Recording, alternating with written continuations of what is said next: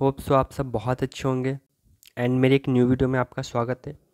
आज इस वीडियो में मैं आपके सामने डिस्कस करने वाला हूँ C M new practical training के बारे में। बहुत सारे स्टूडेंट वो कंफ्यूज रहते हैं कि कौन सी फॉर्म कब फिल करनी है, कब टी वन फिल करना है, कब टी थ्री फिल करना है, कब टी फाइव फिल करना है, क्या ड्यू डेट है उसके लास्ट क्या हम सी ए फॉर्म में ट्रेनिंग कर सकते हैं, नहीं कर सकते हैं, करेंगे तो क्या प्रॉब्लम्स आ सकती है, अगर हमें चीज़ों के बारे में मालूम ना हो तो।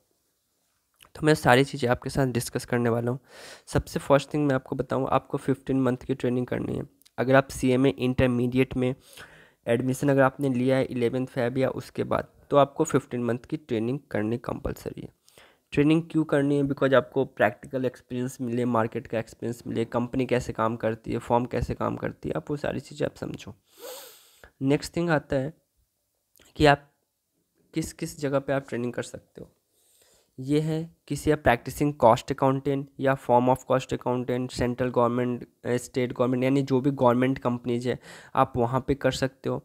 आप सी ए फॉर्म में आप तभी ट्रेनिंग कर सकते हो या फिर आप सी एस फॉर्म में आप तभी ट्रेनिंग कर सकते हो जब वहाँ पे सेपरेट मैनेजमेंट कंसल्टेंसी डिवीज़न है। एंड आपने उस डिवीज़न में cost accounting financial accounting taxation M I S से रिलेटेड अगर आपने काम किया है, तभी आपकी उस एक्सपीरियंस को काउंट किया जाएगा।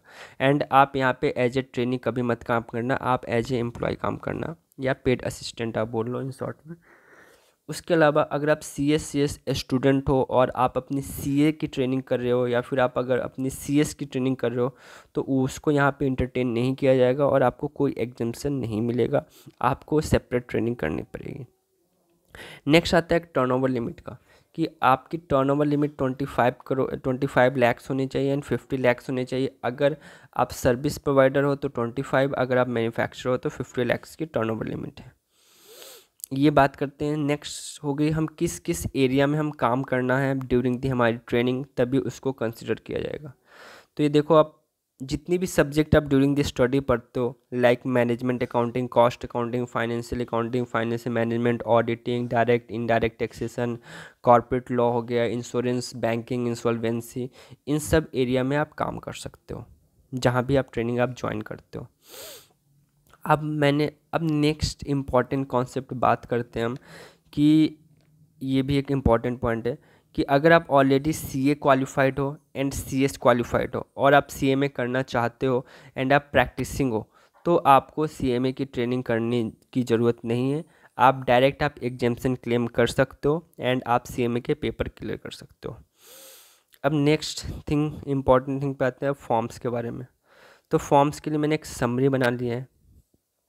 यहाँ पे आप देख सकते हो, आप या तो आप ट्रेनिंग करना चाहते हो, या फिर ऑलरेडी आप उन दिए गए लिस्टेड एरिया में आपने एज ए जॉब ऑलरेडी आप एक्सपीरियंस पर्सन हो, आप मार्केट में आप ऑलरेडी आप जॉब कर रहे हो, आप अपने ग्रोथ के लिए आप सी एम ए कोर्स में इन्वॉल्व हुए हो तो इस केस में आपको टी थ्री फॉर्म सबमिट करना है एंड टू थाउज़ेंड रुपीज़ की फ़ीस आपको इंस्टीट्यूट को देनी है।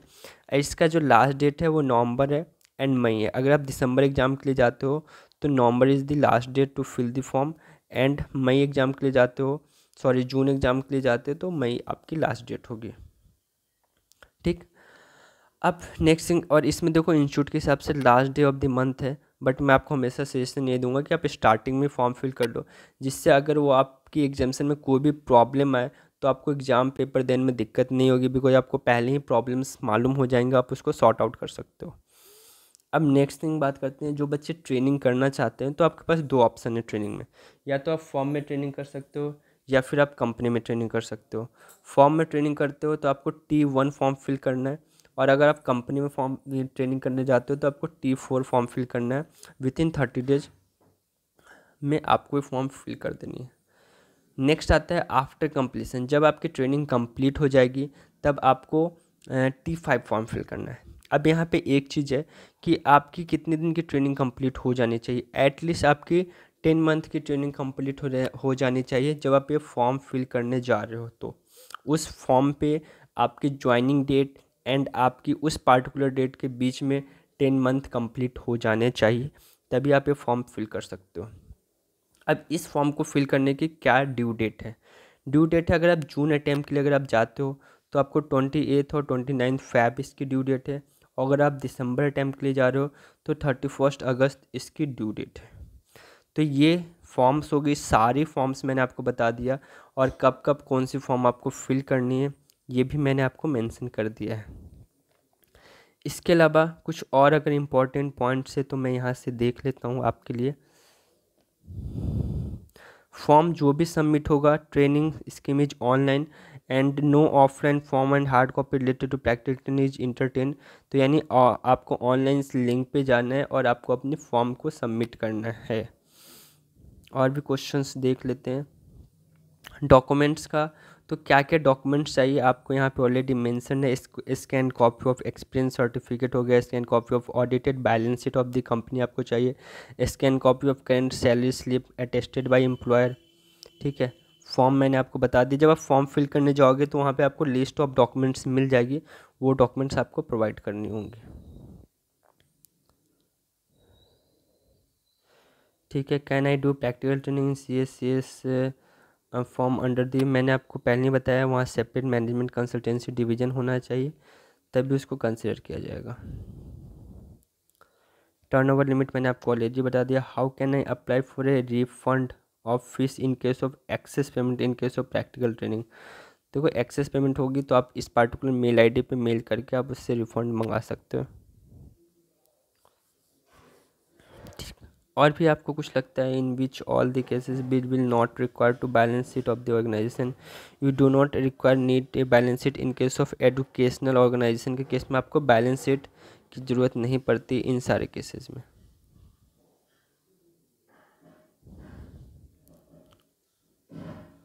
ठीक है? What will be happen in case of there is a change of employer doing the ten और प्रैक्टिकल ट्रेनिंग अब देखो, अगर आप एम्प्लॉयर चेंज करते हो तो आपको क्या करना होगा?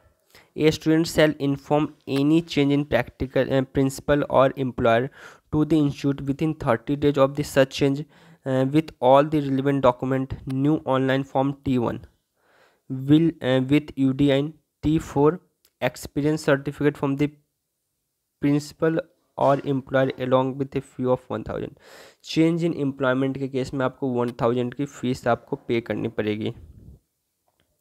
Student serving under different principal with the aggregate period of the training shall include training period undergone with different principal employ including the day of leave availed as per rule but excluding the excess leave availed जो normal leave institute के हिसाब से allowed है, उसको sorry उसको consider किया जाएगा excess leave को कंसिडर नहीं किया जाएगा। Which form need to be submitted after completion of training ये मैंने आपको ऑलरेडी बता दिया है। Fifty maintaining but fail to inform the institute about this same can I inform the institute now yes आप कभी भी इन्फॉर्म कर सकते हो। I have registered with the same institute before first Jan two thousand eight am I require to under practical training training is not applicable on you and you are can appear in final examination without submitting any form ये सब irrelevant question है आपके लिए। जो important thing थी, वो सारी चीज़ मैंने आपको बता दी है। ओनली ऑनलाइन सबमिशन ये चीज़ मैंने आपको ऑलरेडी पहले ही बता दी है कि आपको कैसे सबमिट करना है। ये स्टाइफन्स के बारे में बताया गया। अगर आप फॉर्म में जाते हो तो आपको ये स्टाइफन मिलेगी। अगर आप कॉरपोरेट में जाते हो तो ये आपको मिनिमम स्टाइफन दी जाएगी। मेट्रो सिटीज़ में दस हज़ार है और नॉन मेट्रो में एट थाउज़ेंड है। मिनिमम स्टाइफंड है। अब लीव का क्या है? What is the rule for leave to cost and management training a cost and management training shall entitle to one day leave with pay per month ठीक है?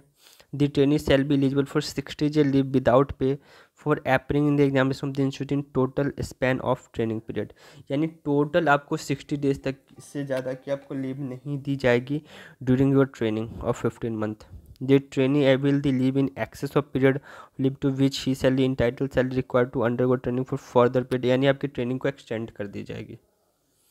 Working hours ये सब सिर्फ़ कहने की बातें होती है तो इसलिए मैं उसके ऊपर डिस्कस नहीं करूँगा। I think most of the doubts आपकी इसके बाद क्लियर हो जाएँगे, अब कुछ बचा नहीं है, ठीक है? अगर कुछ फिर भी आपको लगता है तो आप कमेंट करके आप मेरे से पूछ सकते हो। होप सो आपको ये वीडियो अच्छा लगा हो। Thanks bye take care best of luck